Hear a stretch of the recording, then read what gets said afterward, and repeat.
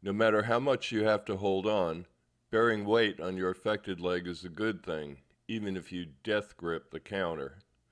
I did a lot of weight bearing in the beginning to build up weight tolerance in my affected leg.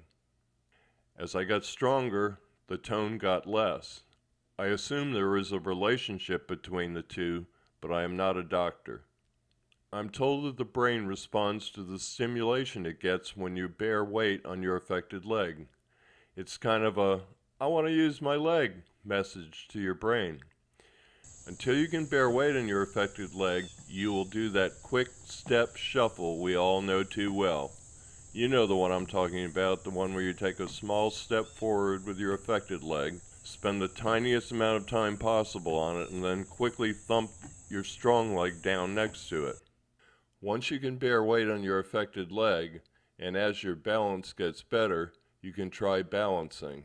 I started with fingertips on the counter. Then I hovered them above the counter, touching down if necessary to maintain balance.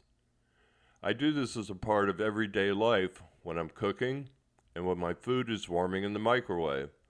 I also do this when I'm pumping gas. You can face your car and touch it if you need to balance.